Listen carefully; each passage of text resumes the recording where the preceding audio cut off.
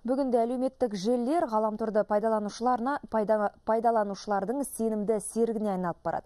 Әсіресе мектеп оқушылары, боз балалар мен бойжеткендер желден бас алмайтын жағдайға жеткенде жасырын емес. Біздің тілшілеріміз әлеуметтік желілерде күнделікті отыратын қазақ эстрадасының танымал әншісіне бір апта бойына ғаламторсыз өмір сүруді ұсынған болатын. Тәжірибенің нәтижесі қандай болғанын келесі бейне материалдан біле аламыз әлеуметтік желі дегеніміз адамдардың бір бірімен ғаламтор арқылы өзара байланысын қамтамасыз ететін интернет сайт. Яғни жалпыға ортақ тілмен айтсақ бұл адамдардың бір бірімен қарым қатынасы сынайғаққа сүйенсек әлемнің төрттен бірі әлеуметтік желілердің қызметін пайдаланады. Оларға әр секунд сайын сегіз адам тіркеледі екен. Ал елімізде ғаламторды қолданатын тоғыз миллионға жуық адам кем дегенде екі үш әлеуметтік желіде тіркелген. Солардың бірі жас әнші рүстем жүгінісов. Бүгінде оның жарты жыл бұрын ашылған инстаграм аккаунтындағы 700-ге жуық суретті 12 мыңнан астам адам көріп отырады екен. Әлеуметтік желілерде инстаграм көбінесе отыратын инстаграм фейсбук және вконтакте желісі. Мысалы үшін бір бір жаңағыдай бір жерде қонақта отырғанда мысалы үшін бір жақсы жаңалықтар болса өзімнің оқырмандарыммен бөлісемін. Оқырмандарына бәрі бәрі біліп отырады. Психолог мамандардың айтуынша әлеуметтік желіде күн түн демей онлайнда отыратындардың шынайы өмірдегі адамдармен қарым қатынас деңгейі төмендейді. Сондықтан тәжірибе ретінде біз рүстемге бір апта бойы әлеуметтік желісіз өмір сүруді ұсындық. Әрине сұрағам өмір енді менің өмірім осымен байланысты емес. Менде тағы да басқа қызықты жасайтын нәрселерім бар. Әлеуметтік желіні шектен тыс пайдаланып соған тәуелді болып арбалып қалған адамдарды аддикацияланған аурулар деп атайды.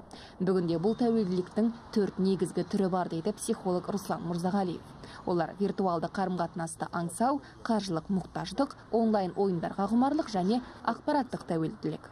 Зависимость любая зависимость это всегда бегство. Әлеуметтік желілерге тәуелділік беймаза мәселелерден арылғысы келетін ұнатпайтын жағдайлардан қашатын адамдар да пайда болады. Немесе керісінше бұл ауруға қатты құмартатын діттеген нәрсесіне қолы жетпей жүрген азаматтар тап болады. Ол алкогольді ішімдіктер құмар ойындар не махаббат болуы мүмкін. Өкінішке орай менің тәжірибемде әлеуметтік желілерге басып адамдар саны уақыт өткен сайын жиірек кездесіп жүр. Бүгінде әлеуметтік желілердің саны екі қолдың саусағын қосып санасаң да жетпейді. Олар жалпы әлеуметтік блоктар, микроблоктар, тек қана видео мен суреттерді жүктеуге арналған белгілі бір бағыттағы тақырыптық әлеуметтік желілер болып бөлінеді. Ендеше әлем бойынша рейтингісі ең жоғары 10 әлеуметтік желіні атап өтсек эбиз халықаралық зерттеу институты келтірген мәліметтер бойынша бірінші орында марк цукербергтің бұдан 10 жыл бұрын негізін қалаған фейсбук желісі тұр. Бүгінде жүзден астам мемлекеттің тұрғындары қолданатын сайтқа айына 900 миллионнан астам адам кіреді екен. Екінші орында твиттер микроблогингі еленіп отыр. 2006 жылы құрылған желінің қызметін айына 310 миллион адам қолданады. Одан кейінгі орындарға қазақстандықтарға таңсық LinkedIn, Pinterest, Google Plus және Tumblr әлеуметтік желілер жайғасқан. Жетінші сегізінші орындарда сәйкесінше Instagram мен ВКонтакте желілері тұр. Алғашқы ондықты ең көне әлеуметтік желілердің бірі MySpace сайты түйіндейді. Ал енді тәжірибе жүргізуге келіскен әншімізге оралсақ рүстем жүгінісов бір апта бойы әлеуметтік желілерге кірмей шынайы өмір сүріп көрді. Бұл соңғы бес жылда болмаған оқиға дейді талантты жігіт.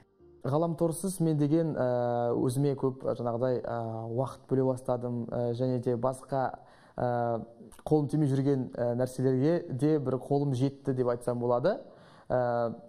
Мүлдем интернетті қойып тек әлеуметтік желілерге ешкімге кірмей деп айтып жатқан жоқпын. Таяқтың екі ұшы бар дегенде әлеуметтік желінің пайдалы және зиянды жақтары бар екеніне көп жағдайда көңіл бөлмей қаперге ала бермейміз. Әлеуметтік желіні кім қалай пайдаланса да өз еркі әрине. Тек шектен шығып аддикацияланудан сақ болған абзал. Мөлдір доспаева ержан рахманбердиев есбол жамшитов астана.